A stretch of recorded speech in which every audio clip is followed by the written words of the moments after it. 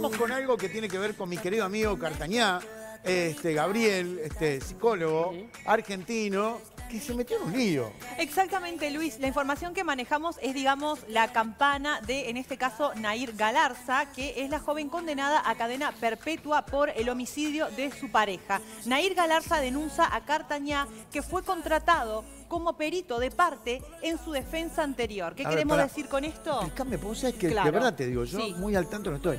Esa chica supuestamente mató al novio. Exactamente, Sí, esa chica se encuentra privada de libertad por haber asesinado a su pareja Apa. y manejó una defensa en, en el primer caso, digamos, este, que la hizo terminar privada de libertad, por supuesto, en el que llamaron como perito de parte a Cartañá. Ahora Nair lo que hizo fue cambiar su defensa y con su defensa actual, este, lo que cuentan es que Cartañá se habría ofrecido de manera insistente para realizarle esta pericia en aquella primera defensa, para la cual haría tres visitas a la joven, a la cárcel, y le realizaría una batería de 12 test psicológicos. Claro, para evaluar Para evaluar, exactamente, la pericia de parte. Lo que, lo que dicen ahora eh, Nair y su defensa actual es que, eh, cosa que consta en los registros de la cárcel de mujeres, Cartañar habría realizado solamente dos entrevistas, de las cuales tres habría prometido, de menos de una hora cada una, y que la pericia que envió, según dicen ellos, es básica e incompleta. Eso es lo que lo Eso acusa la ella. campana de Nair, correcto. Porque yo calculo, Correcto. miren que no estoy empapado en el tema, Sí. que deben haber apelado y, deben querer atenuar Correcto. la sentencia Claro. eh, por- basados, que basados Sí. en un resultado de un perito. Exacto. En este caso, Gabriel. Cualquier cosa que gane, no, como vamos, hablar- perpetua. vamos a hacer una cosa, vamos a hablar con Gabriel, que lo tenemos en Hasta línea. ahí, perfecto. Sí. Hola, querido, ¿cómo te va? ¿Cómo ¿Qué tal, Luis? ¿Cómo andás, negrito? Bien, ¿qué pasó? ¿Que está- que estaba- ¿Estabas escuchando lo que veníamos diciendo? Estaba escuchando lo que dije. Dale, Sí. corregimos, si, si le erramos en algo. Bien, no, no, más que errarlo, ustedes están refiriendo a versiones periodísticas y voy a decir qué es lo correcto y qué es lo incorrecto de esas versiones periodísticas. Bien. Es cierto que yo fui perito de parte, es cierto que fui perito de la parte de Nair. A mí me convocan, yo voy, le tomo una pericia a Nair, ¿no es cierto? Entrego la pericia a los abogados defensores de Nair. Cuando yo entrego el informe, los abogados defensores de aquel entonces, porque Nair cambió tres veces de abogado, los primeros abogados, cuando leen mi informe pericial, lo que me dicen, Gabriel, este informe a nosotros no nos estaría sirviendo porque nosotros la estrategia judicial es alegar que Nair mata a Fernando Pastorizo en el contexto de eh, que Nair es, víctima de violencia de género. Ajá. Y tu informe no habla nada de violencia de género. Le digo, exacto, mi informe no habla nada de violencia de género porque Nair no sufrió violencia de género.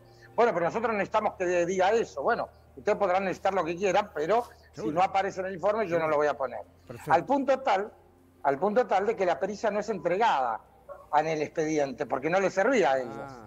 Bien. Luego ellos contratan a otro, a, una psicóloga, ¿no es cierto?, que sí presenta una pericia donde dice que Nair sí fue, sufrió eh, violencia de género.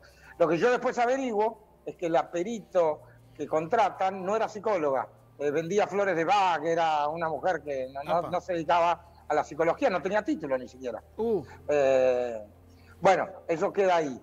Ahora lo que están alegando la, la nuevos, la nueva abogada, que es una abogada muy, mediatizada, muy mediática, que está en muchos medios, hace muchos años, es que yo infringí el secreto profesional eh, entendiendo que Nair fue paciente mía. Yo me he cansado de aclarar que Nair nunca fue paciente mía. Nair fue mi peritada. Y en tanto mi peritada, en el concepto de una pericia de un juicio penal, es todo público. Entonces no existe el secreto profesional en ese ámbito. Bien. Por lo tanto, lo que me están alegando es totalmente improcedente. Lo que pasa es que yo creo que la abogada sabe que es improcedente y que no va a llegar a nada, pero mientras tanto, ella consigue, ¿no es cierto?, lugares en los medios públicos, Seguro. como lo está consiguiendo. Y esto que la que- jugada de ella es est- inteligente. estos lugares en los medios públicos y todo esto les sirve para, bueno, para que resurja el caso y también victimizar un poco a quien fue victimaria. Exactamente. Naila Garza está condenada con sentencia firme eh, a 35 años de prisión por haber matado de dos tiros a Fernando Pastorizo, el que era su novio en ese entonces. Ahora, quizás esto, a ver, como dice el famoso dicho, le sale, le sale el tiro por la culata. Digo, porque si vos un tipo profesional con títulos eh, y todo lo que sabemos de vos, hace un peritaje y da de una forma y después aparece alguien que lo único que hace es darte flores de baja y dice otra cosa, esto es cavarse la fosa. En realidad no, porque técnicamente a Nair no le puede pasar nada peor de lo que tiene. No le pueden aumentar la pena. La, abogada, a Nair, le importa poco y nada lo que pase, porque de 35 para arriba no hay. hay de 35 para abajo. Entonces, cualquier cosa que intente, en, el peor, en la peor situación que puede estar es igual que ahora. y la abogada lo que consigue es visibilidad pública. Bien. Más de la que tiene, por lo que vos me decís. Más de la que tiene, porque Nair es noticia, haga lo que haga. Nair estornuda para la derecha y es noticia. Eh. Fíjate hasta qué punto eh, genera una demanda totalmente imprecedente que no va a tener ningún tipo de fundamento y ya empiezan a llamar de los diferentes medios para que aclare. Mientras tanto, la abogada tiene visibilidad, que era lo que estaba buscando. Gabriel, es común, o sea, para nosotros es muy común verte, verte en los medios, verte como, como columnista, como panelista y demás. Has venido a charlar con nosotros un montón de veces, pero siendo así eh, una persona conocida y, también de los medios, es común que vos trabajes, que, aceptes ese tipo de, de, trabajos como ser perito de parte. ¿Es parte de tu laburo habitual esto? Yo soy perito del Poder Judicial hace muchísimos años y he tenido muchos casos, ¿no es cierto?, donde he funcionado como perito, así que sé, sé cuál es el encargo. De hecho, si bien yo, vos sabés muy bien que estoy en los medios, mi trabajo principal no es estar en los medios, yo no gano dinero estando en los medios, yo no cobro, vos me estás haciendo una nota y yo no estoy cobrando nada por ello. Eh, yo trabajo en el ejercicio profesional de mi profesión, valga la redundancia, que es eh, en mi atención clínica privada, ¿no es cierto?, en mi consultorio y como perito cuando me ha tocado casos como estos. Ahora, esta jugada... Así que sí, hace muchos años que lo hago. Esta, jugada este, de, la defensa, de la nueva defensa, esto que vos nos estás contando, eh, te podría generar un perjuicio a vos, ¿no? Pues si yo soy un, ah, televidente, estoy viendo... El único perjuicio es que me molesta porque voy a tener que ir a una audiencia y pierdo una, un rato y probablemente tenga que poner un abogado para porque todo proceso judicial implica un letrado patrocinante, entonces al abogado le tenga que pagar, y probablemente gane el juicio, pero el abogado le tenga que pagar yo porque lo más probable es que del otro lado litiguen sin costas, es decir, los padres de Nair, que, que son parte litigante, no, se, se, muestren sin recursos para pagar las costas del juicio. Más que eso, no, no me genera ningún perjuicio. ¿Vos, tenés ahora, en ahora en un, en un minuto o dos, ¿Tenés una reunión con, que tiene que ver con esto? No, ah. hoy teníamos, no, en un minuto o no. En teoría en una hora teníamos la audiencia de mediación que no se va a hacer. pero teníamos una audiencia de mediación citada hoy para las 4 de la tarde. ¿Por qué no se hace, Gabriel? Porque mi abogado, porque ya se suspendió una vez, porque a mí me llegó la cédula el mismo día que era la audiencia. Y por, por cuestiones procesales, la cédula notificatoria tiene que llegar por lo menos con con 72 horas de anticipación. Cuando me llega, que esto fue hace 20 días más o menos, cuando me llega el primer celular, yo hablo con la mediadora, eh, Liliana Cotet, eh, que me nombrada a la mediadora, le digo, mira, me acaba de llegar, me dice, sí, me acabo de dar cuenta que te llegó tarde, lo pasamos para dentro de 20 días y te mando una nueva notificación. Me la mandó en tiempo y forma, el problema es que ayer mi abogado le dio coronavirus, entonces me dijo, mira, Gabriel, estoy en cama, no estoy para hacer ninguna audiencia, hoy hablé con la mediadora y pasamos la audiencia para... Es una audiencia de mediación, no va a pasar nada. Es un trámite prejudicial, eh, más burocrático que otra cosa. no, va a haber mediación, de hecho, ¿no? Por más que haya la audiencia, ¿vos estás dispuesto a mediar algo? ¿Cuál sería la mediación? No hay nada que mediar, ¿no? para empezar no hay nada que mediar, porque si ellos me están eh, queriendo demandar por daños y perjuicios, por haber roto secreto profesional, primero no rompí ningún secreto profesional porque no me embargaba ningún secreto profesional.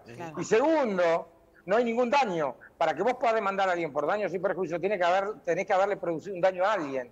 Y yo no le produjo un daño a nadie. Entonces, no hay ni daño ni ruptura de secreto profesional. Gabriel, eh, pareces este, relajado, seguro de, que lo que va a pasar no, va a generarte ningún, ningún inconveniente o, bueno, de que lo vas a pasar de la mejor manera eh, posible. ¿Ya te había pasado alguna vez alguna situación así? ¿Ya habías tenido algún inconveniente del estilo?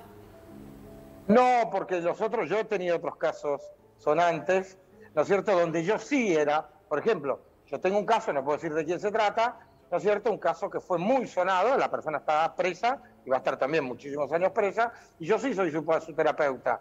Y sobre esa persona yo no puedo ni siquiera nombrarla, mucho menos decir lo que trabajamos en terapia. Ni siquiera puedo decir que es paciente mío. Bien, porque entonces sí estaría rompiendo el secreto profesional porque él sí es paciente mío. Nair nunca fue paciente mío. Nair simplemente fue una persona a la cual yo perité en el contexto de un juicio penal que es público. Entonces todo lo que conlleva el debate de la causa de Nair es pública para cualquier persona. Por lo tanto, no hay secreto profesional en esto. Pedirme secreto profesional en tanto perito, ¿no es cierto?, de una causa pública es pedirme que haga un trabajo pero que no lo haga. Porque parte de mi trabajo es hacerlo e informarlo. Bien. Gabriel, de chusma nomás, ¿eh? esta pregunta es mía, de curioso. ¿En qué contexto sucedió lo que sucedió con esta chica y el novio? ¿Cómo fue? Eh, ellos tenían una relación disfuncional y tóxica de cuatro años. Eh, y mi, mi, supuesto es que Fernando estaba cortando la relación definitivamente y Nadir no lo soportó. Y producto de eso lo mata. lo que suele ocurrir generalmente en casos de femicidio, ¿no? Hombres que no toleran que las mujeres los dejen y las matan. En este caso lo único que pasó es con el género invertido. Pero el proceso fue exactamente el mismo. Bien. Y, sin, sin, sin no, no, sé qué se puede o no, que vos podés decir, digo, ¿hay, eh, hay signos de, arrepentimiento o de, o de, de decir, bueno, chau, fue un momento de locura de, parte de ella. Yo de lo que evalué en su momento de Nair, lo que te puedo decir es que sí estaba arrepentida, pero no estaba arrepentida, pero no sentía culpa. ¿Y cuál es la diferencia entre el arrepentimiento y la culpa? Cuando vos sentís, cuando vos sentís arrepentimiento y Nair lo siente, y lo sintió, no sé ahora, porque no la veo hace tres años, eh, es que estaba arrepentida de lo que hizo, pero ¿por qué? Porque lo que hizo le trajo consecuencias, perdió la libertad, no ve a su familia, su familia la pasa mal, ese es el arrepentimiento. La culpa tiene que ver con que lo que hizo estuvo mal, le quité la vida a una persona, y ella no tenía la entidad de culpa, por lo menos en aquel entonces. ¡Wow! Si habrás visto de estos casos muchos, Gabriel, o... Sí, en general, cuando, cuando llegan a estos casos, sí. De hecho, la culpa, en estos casos así, es la, digamos, la minoría. Los que sienten culpa son la minoría. Ahora, pero... todos sienten arrepentimiento, pero culpa poco. Ahora, pero yo creo, quiero, este, a ver si me, logro hacer entender. Llegar al momento, ¿no? Ese momento, el momento donde ella toma un arma y mata al novio de dos, tres, no sé cuántos balazos. Ese momento, es un momento, porque no, es un momento, fue a sangre fría, fue un momento de, ¿Qué, le pasa a esa persona? ¿Se da cuenta que le está quitando la vida a alguien? ¿O, no, no, no toma entidad, no, no toma entidad. Eh, lo, que, lo, que, lo que esa persona está haciendo es, en ese momento, la gente que hace esto, lo que está haciendo es que, evitando un, un, sufrimiento ellos. Entonces hacen, hacen eso no por placer, estos no son crímenes por placer, son crímenes para evitar el sufrimiento que conlleva la pérdida del ser amado. Y después se dan eh, cuenta... De hecho, hay un mensaje, hay un mensaje que Nair escribe, ¿no es cierto?, después del homicidio, donde dice, ahora vamos a estar juntos para siempre. ¿Pero ella pensaba suicidarse? No, pero ella, él, eh, eh, al matarlo, evita que la, deje. Claro, serás, mío, no serás de ningún otro, ¿no? Esa, lógica que, que, decía vos de, para el otro género, ¿no? Wow. Si no estás conmigo, no estás, con, nadie. Qué cabecita. Claro, está con...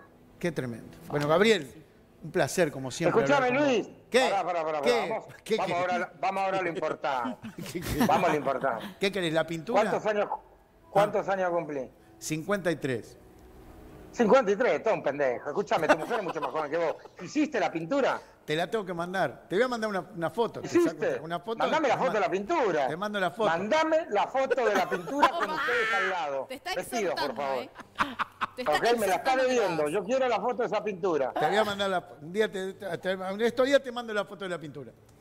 Ya te vale, ¿eh? Sí. Y yo no te doy otra nota. Ya, mi mujer estuvo divulgando cosas hoy de mañana que estaba maravillosas, cosas maravillosas. En otro programa, este, ya a vos te voy a mandar la pintura y ya, vamos arriba. La, próxima vez que me llames yo quiero salir telefónicamente en coaxil con tu mujer. Quiero preguntarle un par de cosas de vos. Ah, qué lindo, qué buena idea. Vamos a hacer terapia de pareja. Eh, pará, la última, pará, la penúltima. Eh, ¿Tu abogado, estuviste en contacto con tu abogado cuánto hace? Esta mañana, que me dijo que tenía coronavirus. pero, pero, pero contacto de persona, o sea, persona físico. No, no, no, no, no, no, no. Él está, él está en Luján, yo estoy en Ramos. Ah. Hablamos por vía Zoom. Está, buenísimo entonces. Nos quedamos No, tranquilos. no lo veo de hace dos años por lo menos. Nos quedamos tranquilos. Gabriel, te mando un abrazo gigante, loco. Un abrazo, chicos. Saludos, ya me verán por allá de nuevo. ¿Cómo no? sí, que señor. sí. Abrazo, el aplauso para Gabriel. Cartañón, un amigazo y clarísimo, ¿no? Siempre yo cuando lo escucho me queda la cosa tan clara. Este, así que bueno, qué caso, ¿eh? Qué caso este, ¿eh? Ha Tremendo. sonado mucho en Muy Argentina. Yo realmente. por eso le pregunté ese, Además, eh, ella ese, se- ese detalle porque es increíble, ¿no? Digo, porque uno lo puede no justificar, pero Entender. lo puede llegar a entender en un momento de locura que alguien a- agarre un revólver, y más a un novio, un marido, una pareja. Hay, hay una parte del mujer, relato que un- tiene que ver con el arma, con el papá de ella, que, este, policía, y, y- y ella se transformó en, en estos años que lleva presa en una especie de personaje también en, en la cárcel, ha tenido varios escándalos. Es joven, ahí. ¿no? Tengo Es joven, fotos. tiene 22 fotos. años. Otto es una 20 niña. años, 22 años, 22, 22 años 22, cumplió. sí, sí, Cuando sí. lo mató tenía 19. 19, 19, sí. Ay, por favor. Exactamente. Y, y tuvo varios, varios líos y también ha, ha sido mediática después de estar presa también, ¿no? Por, por este, no solamente por la historia de su crimen, Y él tendría 20 años. Sí, era un gurí la edad ella. Bueno, pibe, ¿no? Sí, sí, sí, sí. sí. Qué tremendo.